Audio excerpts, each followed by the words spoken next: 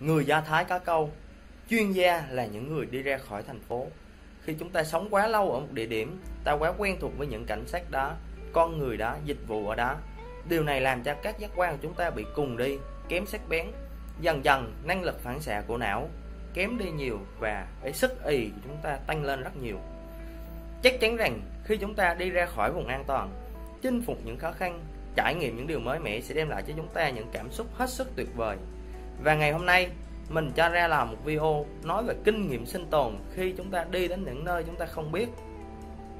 Để cho video này dễ nắm bắt thì mình sẽ nói về nội dung chính. Mở đầu, mình sẽ kể một câu chuyện mình bị lạc ở mê hồn đài trung quốc. Không có tiền, không kết nối internet, không gọi được cho ai, không có bản đồ. Phần thứ hai, mình sẽ nói về các khâu chuẩn bị cho chuyến đi. Phần thứ ba là những kinh nghiệm sinh tồn khi ở nơi đô thị đương nhiên là ở nước ngoài rồi các bạn. Thú thật với các bạn là mình chưa bao giờ nghĩ tới việc mà đi du lịch tour mà bị lạc cả. Nhưng khi mọi thứ xấu nó hội tụ đủ thì nguy hiểm nó bắt đầu nó xuất hiện. Đó là cái lần mình đi Trung Quốc. Cái tour này đi và mê hồn đài.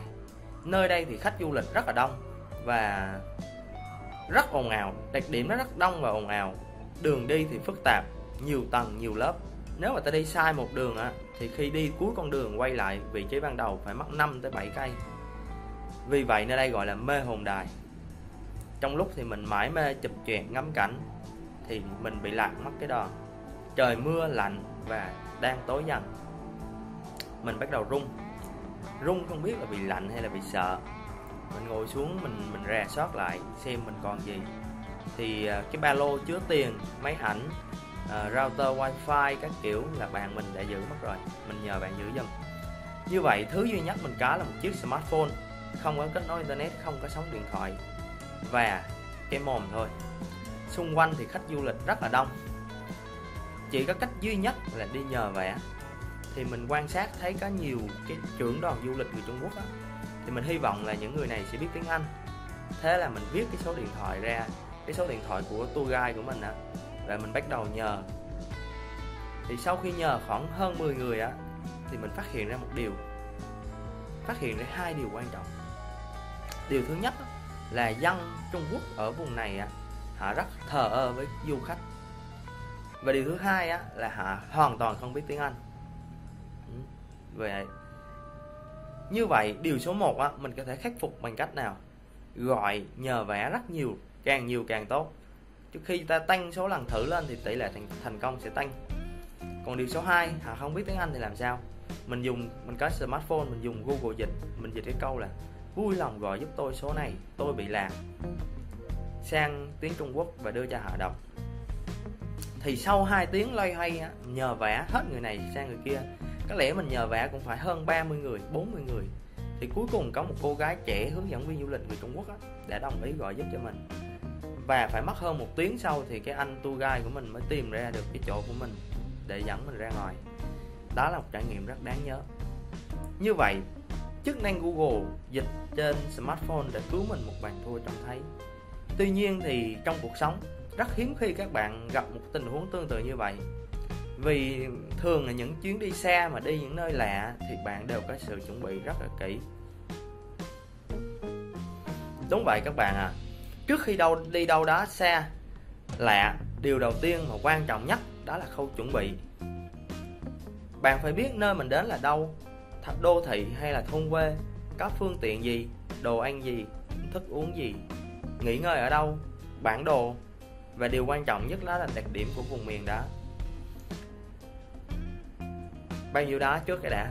Cái đợt mình đi à, Malaysia thì mình đi Kuala Lumpur và Melaka hai nơi này đều là đô thị nên mình yên tâm về phương, phương tiện di chuyển này nơi ở đồ ăn nước uống.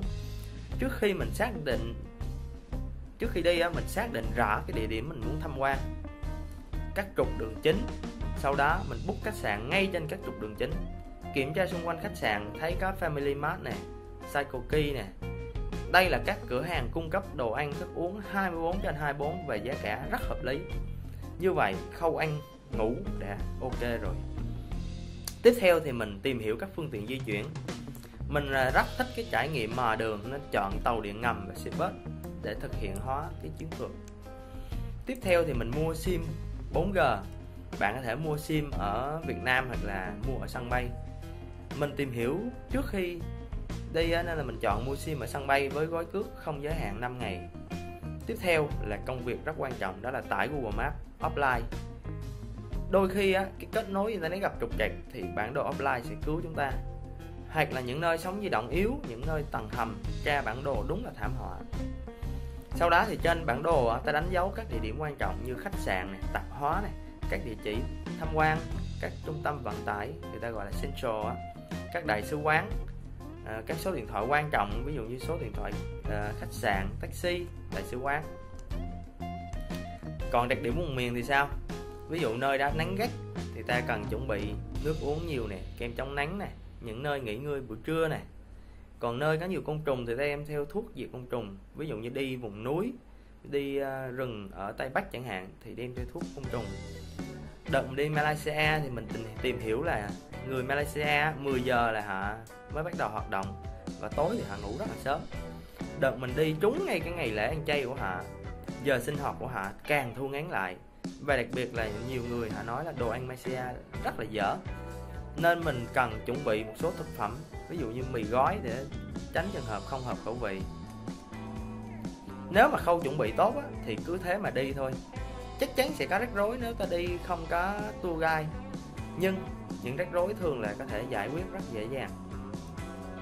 Tuy nhiên ở một số trường hợp đặc biệt ta không có sự chuẩn bị kỹ thì đây là lúc sử dụng kỹ năng sinh tồn phần 3 là phần sinh tồn trong môi trường đô thị. Môi trường đô thị nó khó sinh tồn hơn cả môi trường tự nhiên. Tuy nhiên, ai có khả năng giao tiếp tốt và tạo thiện cảm sẽ được môi trường, sẽ sinh tồn được ở môi trường đô thị. Nếu bạn là khách du lịch, trên tư thế là đầy đủ các trang thiết bị, thì bạn có thể xin sự trợ giúp ở những cái quầy thông tin đó là những quầy information, có chữ y ở trên đó thường thì nó đặt ở những khu thương mại những khu giao thông trung tâm.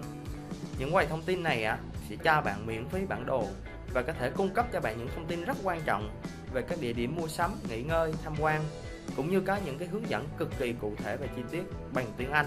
Chú ý nha quầy information thường họ sẽ hướng dẫn bằng tiếng Anh.